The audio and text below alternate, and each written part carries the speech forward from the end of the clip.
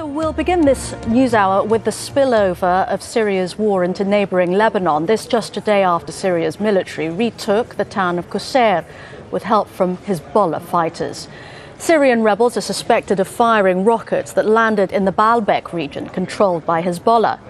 Opposition rebels from Syria also crossed into Lebanon to attack Hezbollah.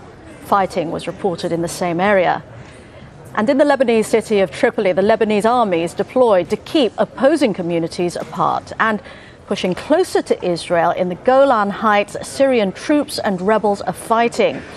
These are the latest pictures from there. There are reports that rebels have captured the only border crossing linking Syria to Israel.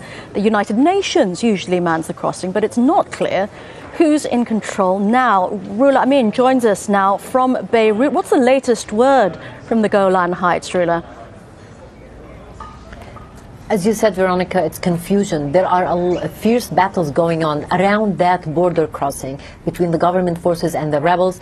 The UN peacekeepers have pulled out from that area. They are in a safe area now, so they cannot, and they're not in a place to verify exactly what's going on. The Israelis are watching from their own uh, side of the border, but they haven't been saying much lately.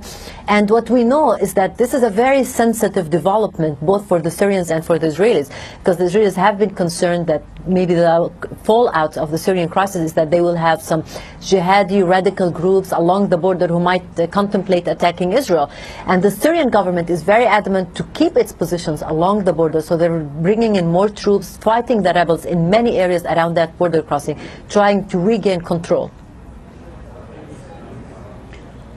Yes, in the last um, few minutes, I've just seen reports that the Israeli military is confirming that Syrian, the Syrian military is using tanks to push the rebels out. It looks like that is really heating up.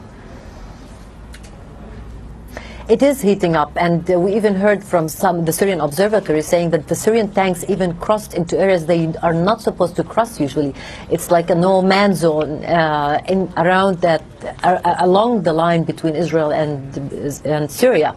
So it seems the Syrians are very determined to regain control. It's a, a, a battle that is very important for both sides.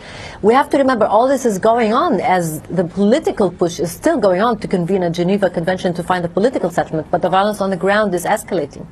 Thanks very much indeed, Rula Amin.